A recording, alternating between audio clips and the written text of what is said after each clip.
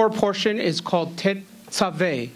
It comes from the, uh, I believe it's the um, second word in the portion, and it begins in Exodus 27, verse 20, and goes all the way to 30, chapter 30, verse 10. Today is a special Shabbat. It's called Shabbat Zachor. Can you say that? Shabbat Zachor. Zachor means to remember because it's the time that we remember when God raised up an enemy against us, the Amalekites. So there's a special Haftorah reading from the book of 1 Samuel, chapter 15, in which we understand that um, Samuel and Saul have a confrontation in which Samuel tells him, if you look down in about verse 20, how it is better to obey than to sacrifice. And it's better to do what you hear than to just offer meaningless uh, offerings. God wants the same thing from us. And one of the easiest take home lessons we can learn from that is we all at times are off target.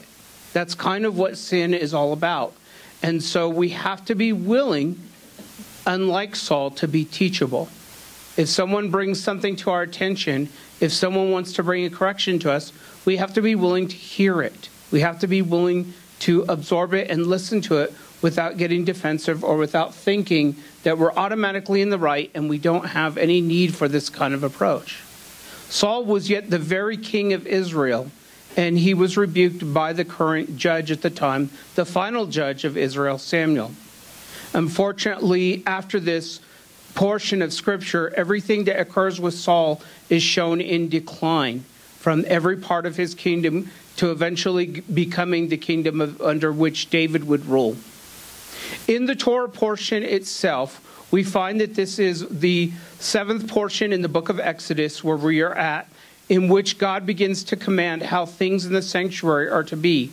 Similar to last week's Torah portion of Truma, in which God ordered how things were to be as well. There's some simple instructions, but I also feel that whenever I bring the Torah portion, I want to incorporate elements of the New Testament so that each of us understands what something that we can take away about our Lord and Messiah or a picture that we can take away. There are many foreshadowing pictures in this portion. And in the very beginning, it tells us about the olive oil that's to be brought. The olive oil is to be brought, and usually it was beaten with a millstone in order for the drops to begin to come out in each of our lives, maybe we feel at times we have those kind of things happening to us, things that will stretch us and hurt us in order that things may come better out of us.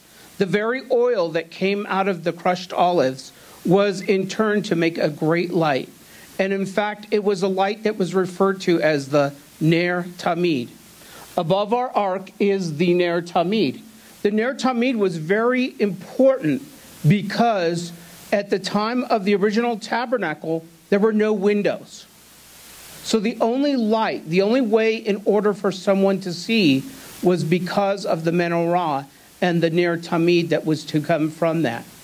As to, as we go through things, and as Messiah, when we look in Luke chapter 22 and verse 44, in his greatest trial, he started to actually sweat drops of blood that came, it said, like drops of blood. And the same very drops made him a great light by which all would be exalted. We too, if we believe in Messiah and follow after him, are to become a great light, a great light that will shine in the midst of a very dark place. And we too are to be that light just as Messiah. The whole point of the place called Gethsemane was a place where olives were crushed and the very place where Yeshua's first trial toward his passion was to come forth. In the next verse, in verse 21, we see another picture that's found in the New Testament. We see Aaron was to go each day and each morning and order the lights so that they would shine. The same picture John sees in Revelation chapter 1, where he says in verse 13, I saw as of a son of man standing before seven candles. The same idea that here you have the Lord Himself ministering before seven lights and Aaron himself also ministering before seven lights. In chapter 28 and 29, we have the pictures of what priests were to be.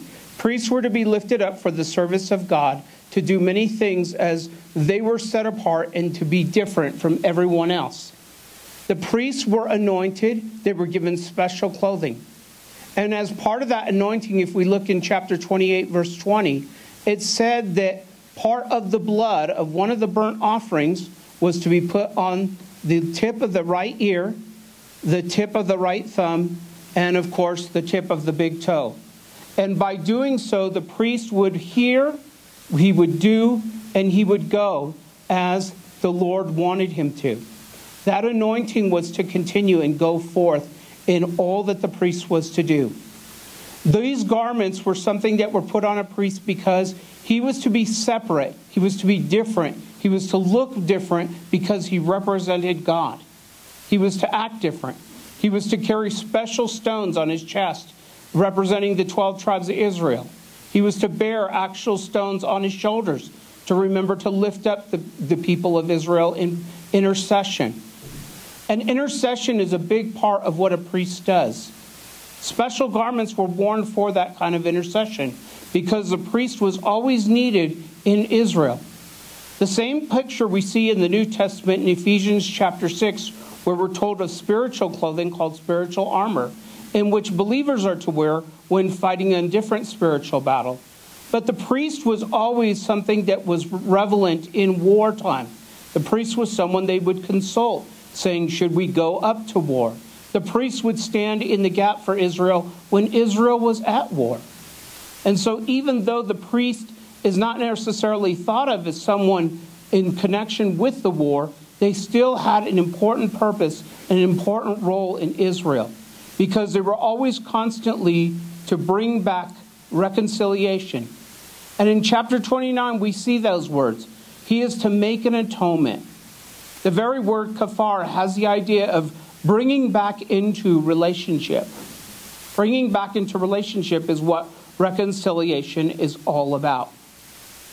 Also in chapter 29, we have something very odd.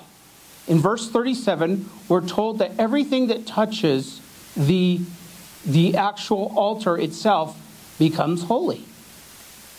Now, that's kind of an odd thing. And when we look back in Matthew 23, verse 18 and following, we see that that was kind of taken way out of context, where people began to understand that their gifts were more important than the altar itself. Thus, Yeshua made a commentary.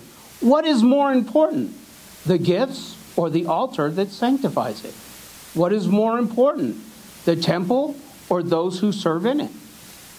And those questions are the same things we should be asking ourselves, not looking beyond, but always coming back to what is the intent of which God has made things for us.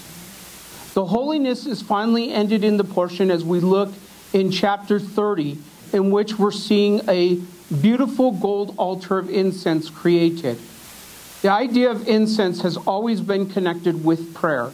This comes out of Psalm 141, verse 2, where it says, I will set my prayers before you like incense, that they may be a burnt offering before your, before your ears, Lord. And that is what our prayers are to constantly be. I want to thank everyone who took time and actually signed up to this week for the prayer vigil for Rabbi Haim. That was very important. And I'm glad that many of us are beginning to catch the vision of how much we need to pray.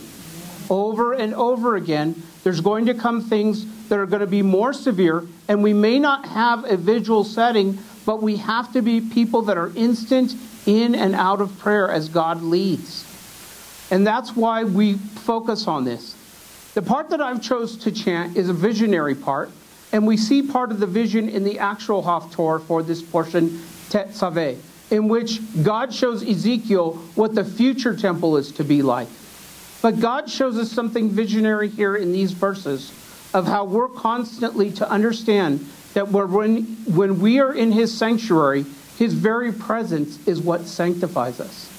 It what makes us holy it what makes us different. That's why there's a distinction in who the people of God are to be. So, Lord, I pray that as we read and as we study this portion, that you would continue to bless people and that they would begin to understand the insights that are there in this whole portion. How we're to be a light in a place of darkness or where there is no light. How we're to be, to see the Messiah always ordering himself before seven lights, the seven churches. How we're also to constantly be in prayer and to the Lord. And to understand the important role that priests have in the midst of war or in war type settings. Help us to see the glory that you want us to be throughout these portions and to be more and more wanting to know you deeper and deeper. We give all this to you in Yeshua's name. Amen.